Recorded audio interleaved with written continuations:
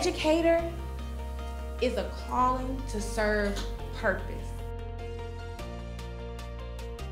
For me, I like to look at life as a canvas. And the importance of a canvas is they don't, a canvas doesn't know what potential it holds until an artist picks up a brush and takes charge.